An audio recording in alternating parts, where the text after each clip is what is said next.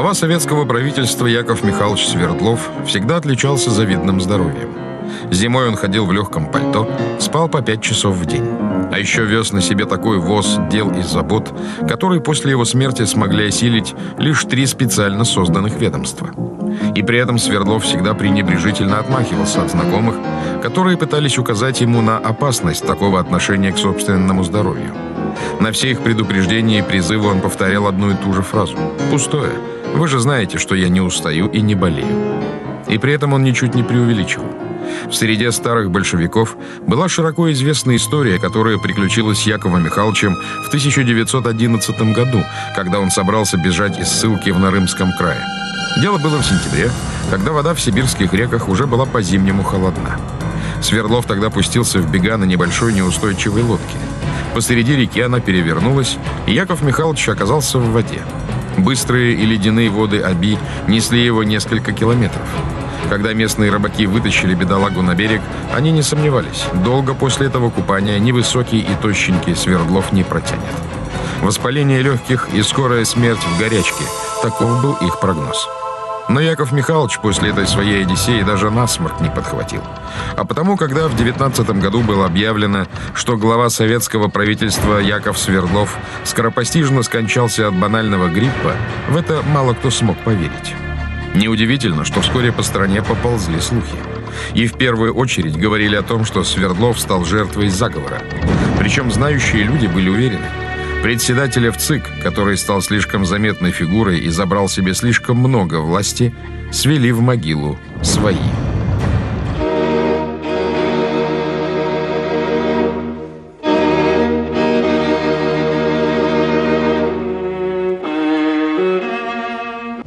Яков Свердлов скончался 16 марта 1919 года в 16 часов 55 минут. Вечером того же дня члены ЦК РКПБ собрались в Кремле для того, чтобы определиться. Они хотели обсудить, как правильно увековечить память выдающегося большевика Якова Свердлова и что должен представлять собой церемониал похорон.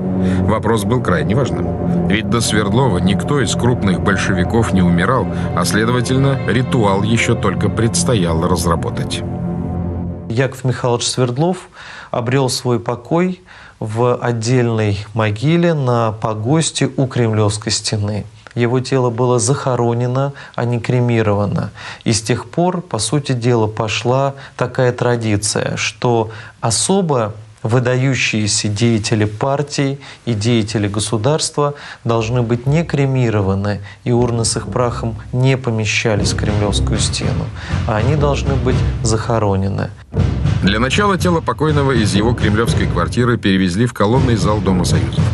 Было решено, что именно здесь пройдет церемония гражданской панихиды. Сподвижники Якова Михайловича единогласно постановили. Именем Свердлова необходимо назвать город Екатеринбург с областью и площадь в самом центре Москвы, которая до этого носила вполне мирное название «Театральная». Также здесь решили установить памятник почившему. На его изготовление в голодной постреволюционной стране выделили 1 миллион рублей. Помимо этого было решено объявить траур, отменить на дни похорон все концерты, театральные и цирковые представления и даже митинг в честь Парижской коммуны. Видимо, и его посчитали для народа развлечением. 17 марта должен был открыться очередной партийный съезд – его отменять почему-то не стали, но зато очень много речей на нем посвятили памяти Якова Свердлова, главного орговика партии, как его называли многие, за его удивительный организаторский талант. Все, что говорилось тогда его соратниками, оно было верно. Другое дело, что история ветер истории, который гнал вперед события с невероятной скоростью, не позволял сентиментальничать. И вот в каком-то смысле вот это были такие поспешные похороны. Вот. Может быть, это и позволило впоследствии делать какие-то такие догадки насчет того, что это была все-таки не такая простая смерть не от испанки. 18 марта, в день похорон Якова Свердлова, в Москве было пасмурно. Того и гляди, мог пойти снег. Гроб с телом бывшего председателя в ЦИК торжественно вынесли из колонного зала и под траурную музыку повлекли в сторону Красной площади. Это решение – похоронить Якова Михайловича в самом центре столицы молодого коммунистического государства – было не случайным. Возле Кремлевской стены уже было несколько братских могил. Здесь нашли успокоение рабочие и солдаты, которые погибли в те дни, когда в Москве произошел большевистский переворот.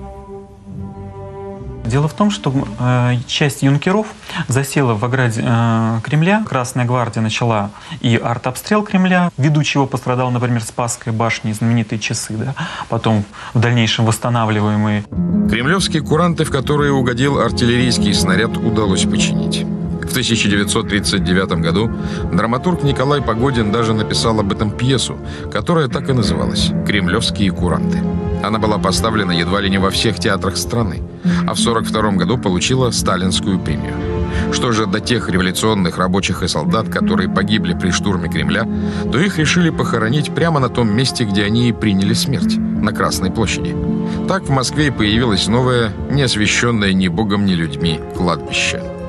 Некрополь возник еще в 17 году как революционный, но теперь со смертью Свердлова он стал не только революционным, он стал еще и государственным. Свердлов оказался той связующей нить, которая перевела революционную традицию в государственную традицию. Над могилой безвременно ушедшего из жизни товарища большевистские вожди разного ранга произнесли немало пламенных речей. Ленин констатировал практическую трезвость и практическую умелость покойного. Он всячески превозносил Якова Михайловича, говорил о его величайшей работоспособности и незаменимости. В тот же день, выступая с речью в памяти Свердлова на заседании в ЦИК, Ленин произнес «Та работа, которую он делал один в области организации, выбора людей, назначения их на ответственные посты по всем разнообразным специальностям, эта работа будет теперь под силу нам лишь в том случае, если на каждую из крупных отраслей, которыми единолично ведал товарищ Свердлов, вы выдвинете целые группы людей, которые, идя по его стопам, сумели бы приблизиться к тому, что делал один человек»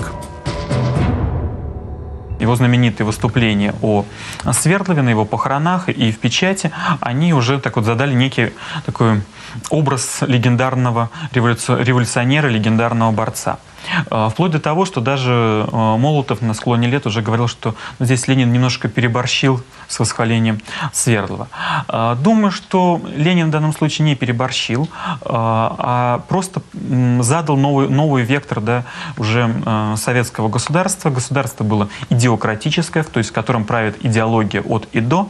Естественно, что создание культов личности было основой любого идеократического государства. Тем временем с мест в Кремль стали приходить отклики на смерть председателя в ЦИК. Они были полны типичного для большевистской риторики пафоса. Он умер, но идеи его живы. В ответ на преждевременную кончину лучшего сотрудника всемирной революции сомкнем свои ряды железными кольцами. В эту однотипную, по своей интонации массу, каким-то чудом затесался донос. Он сохранился в одном из архивов, и сегодня мы можем приобщить его текст к материалам нашего частного расследования. В этом письме некий большевик сообщал в редакцию газеты «Правда» о возмутительных, с его точки зрения, пересудах московских обывателей – Люди судачили о том, что раз тело председателя в ЦИК было предано земле без традиционного вскрытия, то, скорее всего, со смертью товарища Свердлова было все далеко не так просто, как хотели показать власти. Автор письма, поначалу возмущенный пересудами, под конец и сам начал сомневаться в официальной версии смерти Свердлова. Он писал, а кто может поручиться за то, что врагами трудового народа не распространяются злоумышленно-тифозные и другие микробы среди рабочего класса? И действительно, Скоропостижная смерть Якова Михайловича в возрасте 33 лет не могла не породить множество слухов. А я слышала, что его отравили. Глупости. Кому его травить-то было? Нет, не отравили. Я слышала, забили до смерти. Это как же? А так, на митинге, где голодные рабочие собрались, начал он городить какую-то чушь про мировую революцию. Вот его и отделали, как Сидорову козу. Ну, дела. Люди ищут на пустом месте доказательства Просто, видимо, им очень хочется их найти. Точно так же появилась в белогвардейской прессе а, а, версия о том, что Свердлов не простудил, схватив испанку на этом пресловутом митинге в Орле. Его убили там рабочие крестьяне. Эта версия не может быть доказана ни с помощью документов, ни достоверным свидетельством современников. Но, тем не менее, она жива уже несколько десятилетий к ряду, и все новые поколения историков берут ее на вооружение. Если верить ей, то возмущенные крошечными пайками и красным террором рабочие орловских железнодорожных мастерских не только не пожелали слушать речь Свердлова о создании Третьего коммунистического интернационала, но забросали оратора то ли камнями, то ли поленьями. При этом орудие пролетариата попало председателю президиума в ЦИК точно в голову. Оказать Свердлову правильную медицинскую помощь на месте не удалось. Торопились унести ноги. В итоге врач осмотрел больного только в Москве 11 марта 19 года.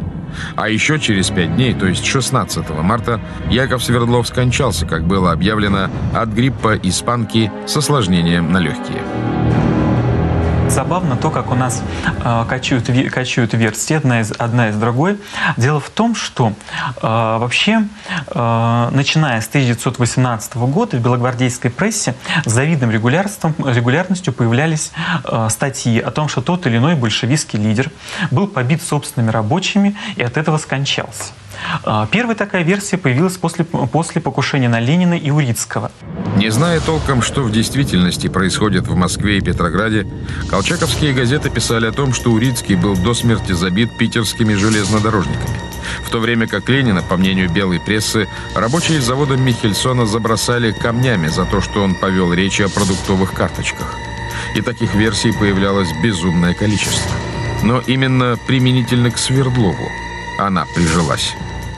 Она была просто очень выгодна всем антибольшевистским силам а, показать, что вот фактически глава советского государства, а ведь по Конституции РСФСР именно председатель ВЦИК был главой государства, не предсов нарком, не Ленин, а Свердлов.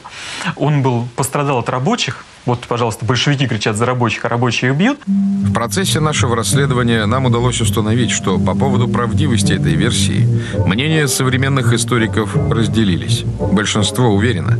Истинно официальная версия, которая гласит Яков Михайлович Свердлов скончался от гриппа, так называемой испанки. Эпидемия гриппа 19 года, как раз по окончании мировой войны, так называемая испанка, так почему-то такое название осталось, почему не знаю – она выкосила, как подсчитано было потом, очень скоро, больше людей, чем вся Первая мировая война в Европе. Но некоторые исследователи и по сию пору убеждены, от банального гриппа сразу после революции, то есть в самый пиковый момент его жизни и деятельности, Свердлов умереть просто не мог. Для меня, как для человека, занимающегося историей, э, совершенно ясно, что лидеры э, политических партий или командующие армиями э, никогда не умирают разгар событий от гриппа. Человеческий организм так устроен, что в критической ситуации, а война таковой и является, он мобилизует все свои скрытые силы и резервы. Общеизвестно, что на войне, где стресс скорее норма, чем исключение, люди крайне редко умирают от инфаркта. Более того, на поле боя практически не простужаются, хотя условия в промерзших окопах далеки от санаторных. Яков Михайлович участвовал в этой гражданской войне в качестве вождя. И он был очень азартен, он был наверху власти. И большевики уже побеждали. Я не верю, что в этот момент э, человек может заболеть гриппом и от гриппа умереть. Значит, все-таки смерть от руки оголодавших и, как следствие, озверевших рабочих. Поэт Феликс Чуев, автор книги «40 бесед с Молотовым», напрямую спросил Вячеслава Михайловича. Разговор такой ходит, что на Свердлова где-то напали, избили, и он после этого умер. Так было дело? Стареющий Молотов Чуеву ответил тогда уклончиво. «Возможно». Мы же со своей стороны точно можем сказать лишь одно. Эта версия, смерть в результате избиения рабочими, далеко не единственная скандальная версия смерти Якова Свердлова. Бог есть и долго терпит, но больно, больно бьет. Поэтому э, было ли покушение на Свердлова какое-то среди митингующих рабочих? Не было такого покушения, но что какая-то карающая рука его застала мистически, это бесспорно так. На почетном месте в папке с материалами нашего расследования содержится документ, в котором весьма логично выстроена версия заговора против Якова Михайловича. Причем, согласно этой версии, руководил им никто иной, как Владимир Ильич Ленин. Сторонники этой версии убедительно доказывают, что Ленин вполне мог желать смерти Свердлова. И причиной этого мог стать банальный факт. Яков Михайлович подобрался слишком близко к вершине власти – Настолько близко, что Ленин начал чувствовать, ему наступают на пятки, и его до этого момента абсолютный авторитет в партии уже не может служить ему стопроцентной защитой. Есть такая версия, что Якову Михайловичу помог уйти из жизни кто-то из руководства страны, в том числе возможно, и Владимир Ильич Ленин. Версия вырастает из 30 августа 1918 года, когда на Владимира Ильича Ульянова Ленина было совершено покушение. Э, была обвинена э, эсерка Фанни Каплан – Причем а, Каплан, что интересно, была знакомой сестры Якова Михайловича, Сары Михайловны. И вот именно это основание дало и повод для того, чтобы заподозрить Якова Михайловича в возможной причастности к покушению на Ленина.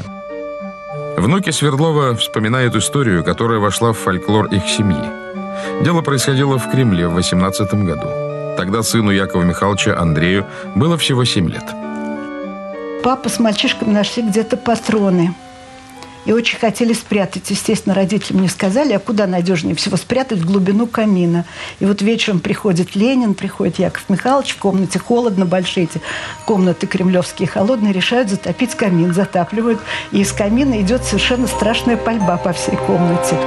Тогда все было списано именно на детские шалости – Свердлов и Ленин, чудом избежав ранения, лишь нервно посмеялись, а потом хорошенько пропесочили виновника, маленького Андрея Свердлова. Но вполне вероятно, что потом, уже после того, как на Ленина было совершено настоящее покушение, он вспомнил недавний эпизод в доме Свердлова и, возможно, призадумался.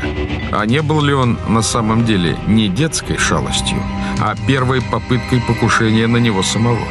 Но прежде чем разбираться в этом запутанном деле, давайте все же вернемся немного назад и расскажем о том, с чего же, собственно, начинался для Свердлова путь наверх.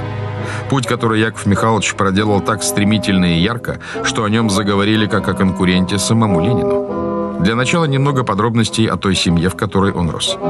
Это была большая, очень дружная, неплохо для тех времен образованная еврейская семья отца Якова Свердлова, гравера по профессии и революционера по убеждениям, хорошо знал сам Максим Горький. И этот факт стал для одного из братьев Якова Михайловича Зиновия решающим в жизни. Он принял православие. Горький был его восприемником по церковному обряду. И когда вот произошла эта процедура, он принял отчество и фамилию Горького. То есть он стал Зиновий Алексеевич Пешков. Еще до революции э, он уехал во Францию. Когда разразилась Первая мировая война, он вступил в иностранный легион. Кстати, когда Зиновий Пешков, уже будучи генералом и вообще величиной во Франции немаленькой, понял, что жизнь его идет к закату, он завещал похоронить себя на русском кладбище под Парижем. На его могиле, опять-таки по его просьбе, начертали только два слова – «Легионер Пешков» пользовался невероятным успехом у женщин, был несколько раз женат. Э, при этом числе его возлюбленных были графини, герцогини, и жены миллионеров. В общем, такой был очень любвеобильный человек. Вот у него была одна единственная дочь, которая там родилась. Она вышла замуж за советского гражданина, работавшего в Италии. Уехала с ним в Россию, погибла впоследствии в ГУЛАГе. В 60-х годах она приезжала сюда, вот, то есть вот э, не, э, не, в, не лагерях она была, а приезжала, будучи, ну, фактически живя за границей, приезжала сюда и хотела встретиться с папой, но папа отказался встречаться. Все-таки вот Зиновий тогда считался, ну вот и в нашей семье, предателем, и как бы что не, поэтому, значит, вот, отказался папа с его дочерью встречаться. Зато совершенно достоверно известно, что Вениамин Свердлов, еще один брат Якова Михайловича, все-таки закончил свои дни в ГУЛАГе. Еще до революции он сделался банкиром в США, а в 18 году стал первым американским финансовым консультантом большевиков, которые только-только пришли к власти. Затем он, по приглашению Якова Свердлова, вернулся на родину, был назначен наркомом путей сообщения, а в 26 году стал членом президиума ВСНХ. Все закончилось в октябре 1938 когда Вениамин Свердлов был арестован как троцкистский террорист – Его расстреляли 16 апреля 1939 года. Согласно официальной биографии Якова Свердлова, которая была опубликована в Большой советской энциклопедии, членом Российской социал-демократической партии он стал еще в 1901 году. Современные историки уверены, что, скорее всего, это была чистой воды приписка. Свердлова тогда было всего 16. Как бы то ни было, уже в 1904 году Яков, получивший к этому моменту псевдоним «Малыш», то ли по причине возраста, то ли из-за малого роста, принял самое активное участие в политической борьбе. В частности, он э, был одним из организаторов забавной акции. Вот если бы сегодня ее провели какие-нибудь наши радикалы, она бы была во всех СМИ. В Нижнем Новгороде э, рабочие, студенты, такая радикальная молодежь устроили на 1 мая митинг. Поскольку город был жестко под контролем полиции, они его устроили на лодках посреди Волги. И жандармы, которые были к этому не готовы, бегали бессильные по берегу. В этой демонстрации, кстати, узнал Ленин в своем иммигрантском далеко. За решеткой революционер Яков Свердлов в первый раз оказался 10 июня 1906 года, когда его арестовали в Перми с поддельным паспортом. Судили Свердлова по делу о его причастности к боевой организации, то есть, говоря современным языком, за терроризм. Приговор для такой статьи оказался достаточно мягким – два года тюрьмы, но лиха беда начала. После этого Яков Михайлович арестовывался еще 17 раз. Известие о падении самодержавия он также получил, находясь в ссылке. Полицейское начальство выдало ему 50 рублей на харчи. Он тут же отправился в путь в охваченный революционным безумием Петроград. По тонкому из-за близкой весны, а потому очень опасному льду Енисея, Яков Свердлов добрался до Красноярска. Это почти тысяча верст. Дальше путь был вполне комфортным. В ту пору поезда по России еще ходили регулярно и по расписанию. В революционной столице Свердлов тут же встал на сторону Ленина. И это явилось залогом его стремительной карьеры в партии большевиков. В октябре 17-го именно он председательствовал на знаменитом заседании ЦК, на котором было принято решение о вооруженном восстании в Петрограде. Свердлов не был любимым вождем рабочего класса. Отнюдь. Он был жесток, очень такой неприветливый, жесткий, суровый человек. Такие люди харизмы не имеют. После того, как в ночь с 25 на 26 октября или 7 на 8 ноября по новому стилю большевики взяли власть в свои руки, главой исполнительной власти страны, то есть главой правительства, президентом, стал Лев Каменев – Впрочем, на этом посту он пробыл всего лишь две недели. Уже 21 ноября 17 года товарищи по партии назначили на этот высокий пост более жесткого и решительного Якова Свердлова. Свердлов – это не ученый, не мыслитель, в отличие от, скажем, Ленина или Каменева или того же Бухарина. Он чистый политик, практик. Э, вряд ли ему сильно польщу, если скажу, что как организатор он был просто гениален. Он мгновенно запоминал сотни людей. Ему приходилось постоянно переезжать из города в город, из поселка в поселок, выступать на каких-нибудь там митингах, разговаривать с разными рабочими. Он запоминал их всех. Люди, с которыми он общался, скажем, в пятом году в каком-нибудь богом забытом руднике на Урале, потом встречали его в Смольном в октябре 17 он их узнавал. Останавливался, говорил, Саша Петров. Это вот в воспоминаниях о Свердлове такая, такой постоянный мотив. Все это сделало Якова Михайловича воистину незаменимым человеком. Его даже называли «записной книжкой Ленина». Он лучше всех знал и помнил партийные кадры и мог безошибочно рекомендовать того или иного товарища на одну из многочисленных бюрократических должностей, которые плодились как прыщи на носу у подростка везде, где укреплялась советская власть. Одновременно рос авторитет и самого Свердлова. Именно он становится создателем системы советов. В соавторстве с Лениным пишет первую советскую конституцию. Его подпись стоит под приказом о начале проведения красного террора и о начале расказачивания. Речь идет о геноциде, о физическом уничтожении русских людей, живущих на территории своей страны. Уничтожение только потому, что они родились казаками. Отголоски этой акции слышны и сегодня. Ведь именно после того, как Терское и Сунжское казачество были уничтожены, на богатые нефтью равнины, на которых ранее жили казаки, спустились воинственные горские племена, в том числе и чеченские. Наконец, именно с Яковом Свердловым напрямую связан приказ о расстреле царской семьи. Обо всех этих черных делах большевиков сказано уже достаточно много, а потому мы в нашем расследовании позволим себе не освещать их более подробно. Тем более, что нас в первую очередь интересует другое.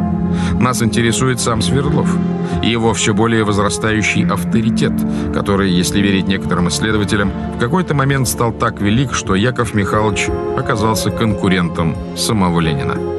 Он всегда умел и знал, что говорить. И это играло решающую роль, когда необходимо было э, провести какую-либо резолюцию, когда необходимо э, было достичь определенного решения. Живший в Кремле Демьян Бедный сочинил э, такие строчки.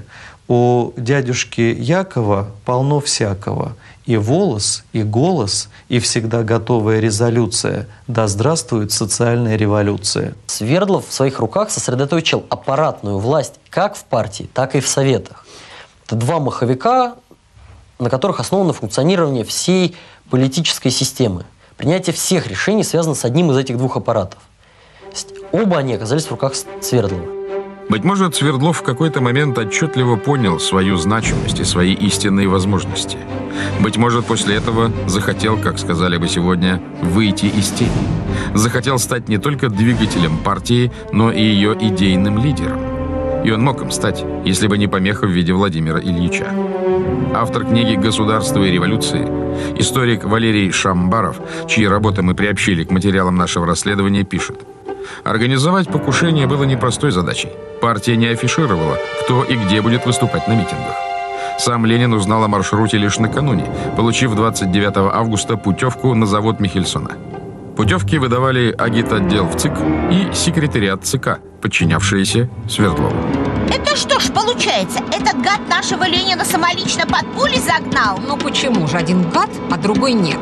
Да креста на вас нет, так о Ленине говорить. На мне как раз есть. А вот на товарища Ульянове точно не было, и уж на Свердлове тем более. Так что оба хороши. Недаром не смогли вместе ужиться, как два паука в одной банке. Есть э, э, такая конспирологическая версия, что вот Свердлов, сосредоточивший в своих руках огромную власть, пытался устранить Ленина. Некоторые, э, правда, очень бездоказательно утверждают даже, что именно он стоял за покушением на Ленина 30 августа, когда Каплан, Фанни Каплан стреляла в Ленина. В качестве доказательства этой версии приводятся такие доводы. Именно Свердлов был более всего заинтересован в устранении вождя отдел. Именно Яков Михайлович, после того, как Ленин оказался на больничной койке, засел в его кабинете, читал его корреспонденцию и отдавал указания уже не только от своего имени, но и от имени Ленина. И именно он уже после того, как Ильич пошел на поправку, настоял на том, что вождю не следует сразу приступать к работе, а нужно подлечиться. Кстати, тогда впервые в биографии вождя пролетариата и возникли горки. Более того, именно Свердлов, вмешавшись в расследование дела о покушении на Ленина, приказал в срочном порядке расстрелять Фанни Каплан, а после сразу же сжечь ее тело. Комендант Кремля Мальков, который оставил после себя подробные воспоминания, лично расстрелял Каплан, а потом сжег ее тело в железной бочке посреди Александровского сада. Уже упоминавшийся нами Демьян Бедный присутствовал при этом диком акте и тоже позднее описал его в своих мемуарах. Говорят, что Ленин, который отнюдь не был дураком, ситуацию оценил правильно. Ильич понял, либо Свердлов в конце концов доконает его, либо он сам должен успеть разобраться с председателем в ЦИК раньше.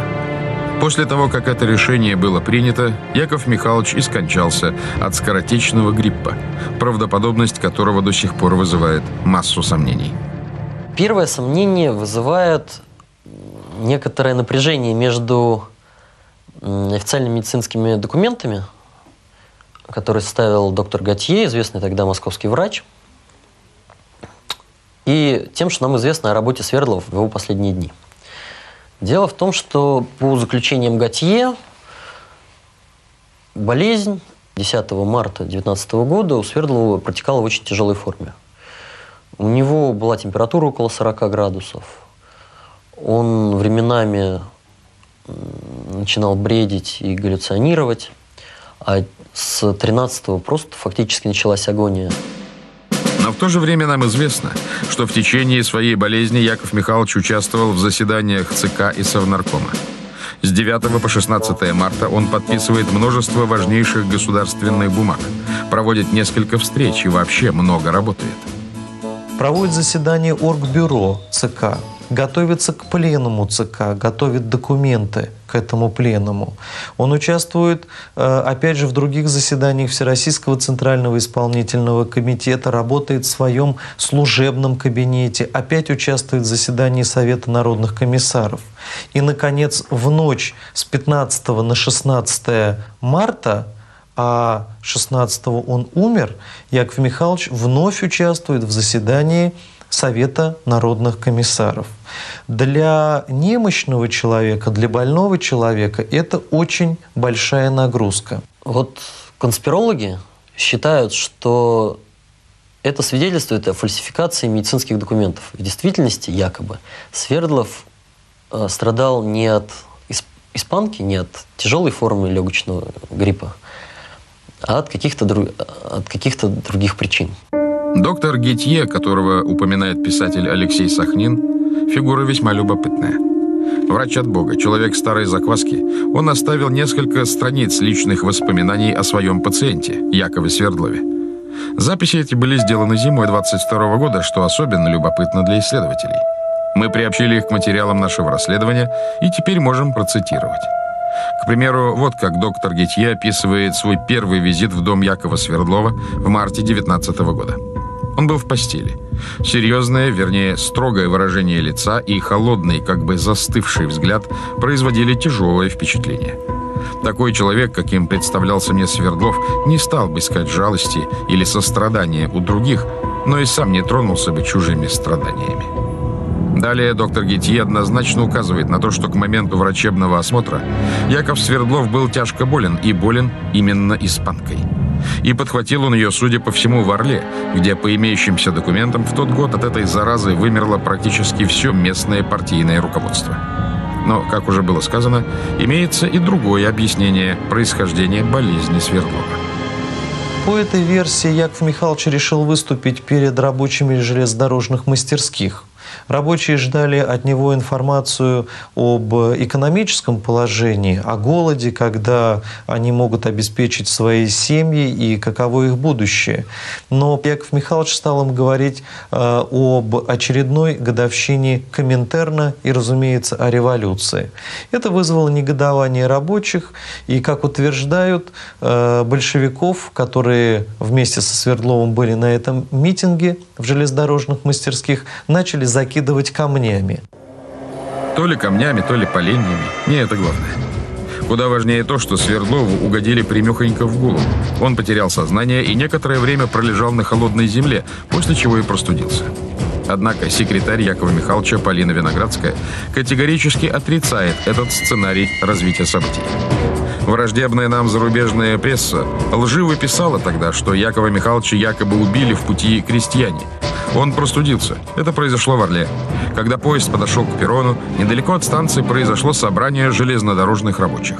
Товарищ Волин, он же Фраткин, который был тогда председателем Орловского губысполкома, пришел к Свердлову просить его выступить на митинге.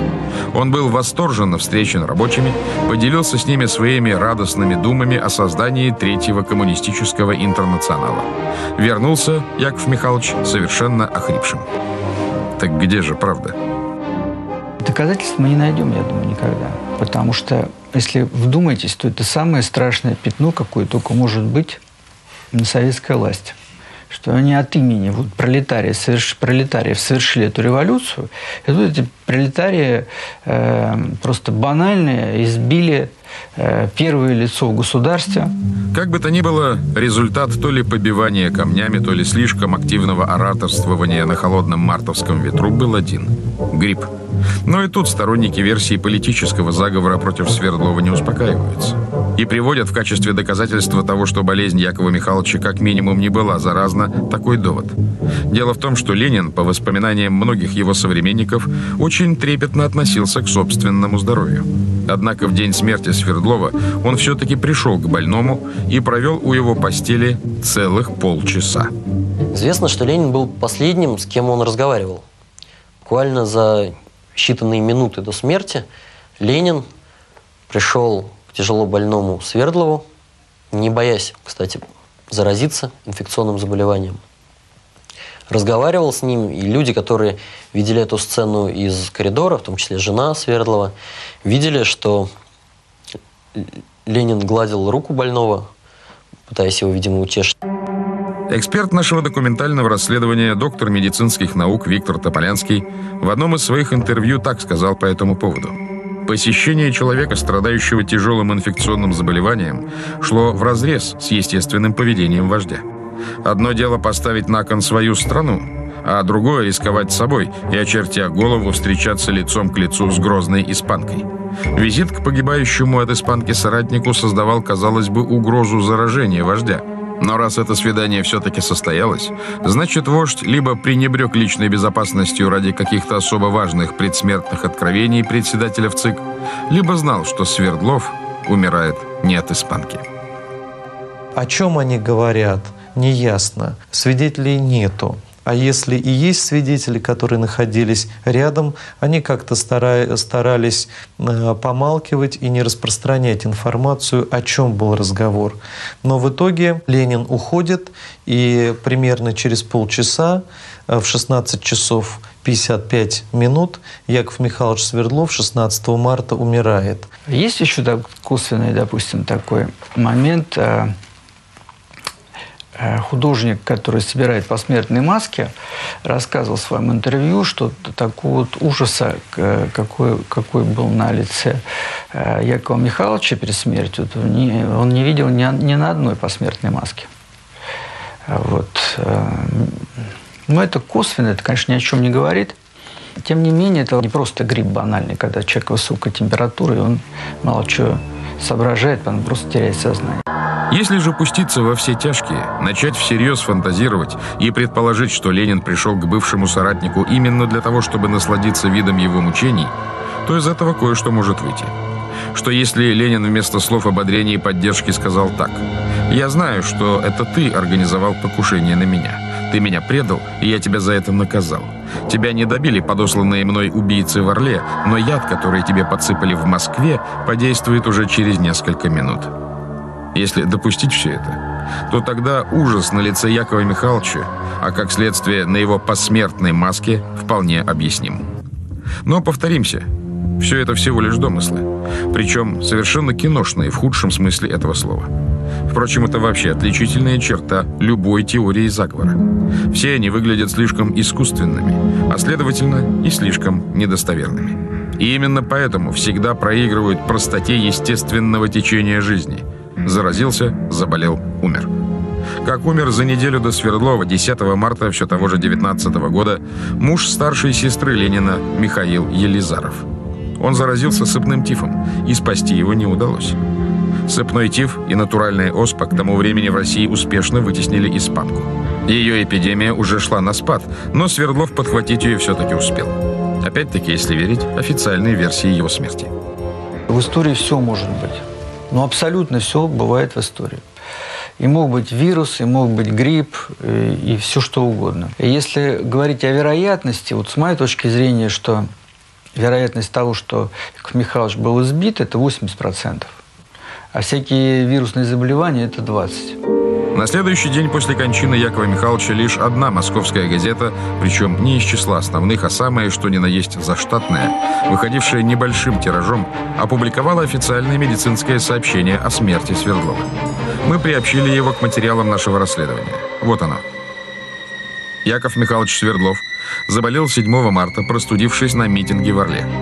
Первые дни, хотя температура доходила временами до 40 градусов, кроме катара верхних дыхательных путей, насморка, кашля и легкой ангины, ничего не отмечалось, и общее состояние было вполне удовлетворительно.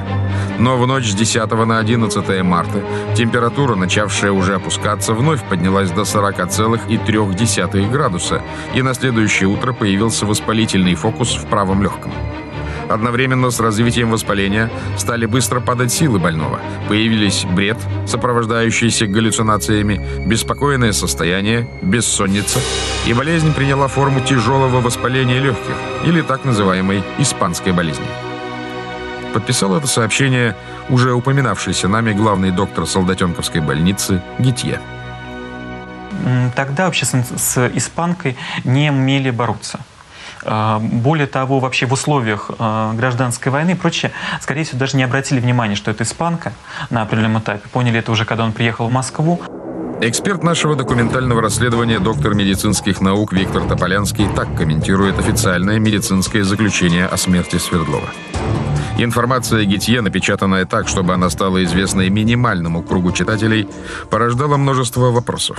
Почему неизменно осторожный Гетье нарушил врачебные традиции и ни разу не собрал консилиум у постели умирающего председателя в ЦИК? Еще в сентябре 18 года по указанию Ленина в Кремле организовали некое подобие стационара с амбулаторией для руководящих партийных кадров.